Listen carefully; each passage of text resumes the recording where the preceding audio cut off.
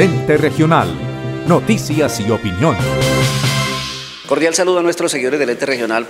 Con la alcaldesa del municipio de Milán, Doli Aguirre, se muestra complacida porque luego de ese trabajo que se ha hecho durante cuatro años, pues se comienzan a ver los resultados y ya muchos de estos proyectos están para llegar a su parte final. Señora alcaldesa, hablemos un poco de esos proyectos que ya están próximos a ser inaugurados.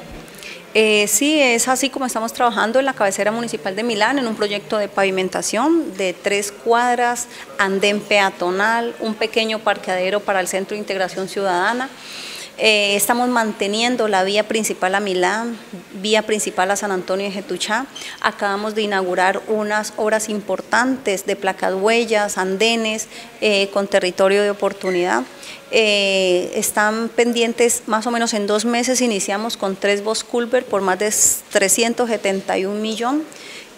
También ya vamos a iniciar la semana entrante en la construcción de dos malocas, una habitacional en San Antonio de Getuchá y otra eh, turística eh, y más que todo religiosa para que todos nuestros eh, coreguajes hagan sus ceremonias en Agua Negra.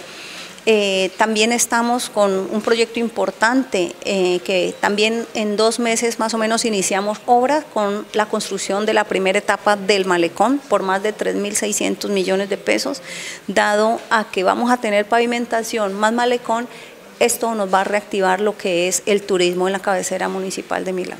Señora alcaldesa, ¿y las obras macro cuándo estarían siendo ya inauguradas? Si Dios lo permite, esperamos inaugurarlas en el mes de diciembre, tanto la pavimentación a Milán, que va en un 65, un 70% podríamos decir ya, eh, el malecón, la primera etapa, eh, la pavimentación de las vías, las malocas, eh, un proyecto de electrificación, tanto por parte del departamento como por parte del municipio, entre otras obras, son las que vamos a inaugurar con la ayuda de Dios en diciembre.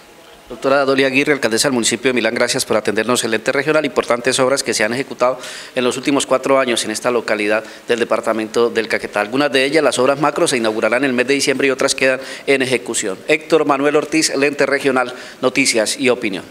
Somos Gas Caquetá, SAESP, empresa caqueteña que genera empleo en la región. Llegamos hasta sus hogares con atención personalizada para encender la llama del desarrollo regional. Servicio de ventas y preventas dirigidas a las familias caqueteñas con la misión de satisfacer las necesidades y expectativas de nuestros clientes. Gas Caquetá, SAESP, la mejor energía al servicio de la comunidad.